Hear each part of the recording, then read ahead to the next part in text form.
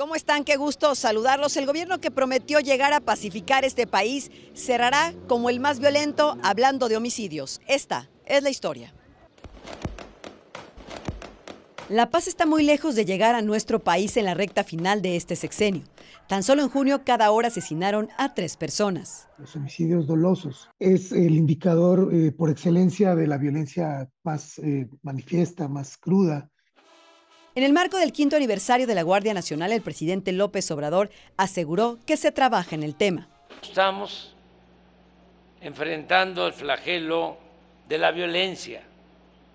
Se va avanzando, no como quisiéramos según el reporte de la Secretaría de Seguridad y Protección Ciudadana, junio es el segundo mes más violento en lo que va del año con 2.367 víctimas. Estas tasas de impunidad de más del 95% de homicidios dolosos que no se castigan son un incentivo. Tenemos que dejar de abaratar la vida de las personas en México.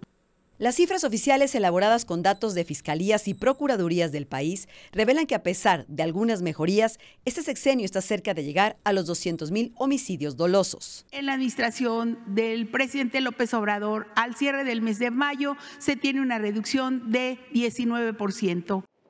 Al hacer la comparativa con otros sexenios, el actual gobierno encabeza el primer lugar en dicho delito con 191.032 incidentes, superando a Enrique Peña Nieto, quien registró 130.626, y a Felipe Calderón con 102.812 asesinatos.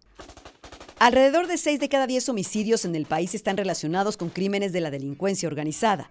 Tan solo este fin de semana, un enfrentamiento entre grupos criminales en Chiapas, frontera con Guatemala, dejó un saldo de 19 muertos.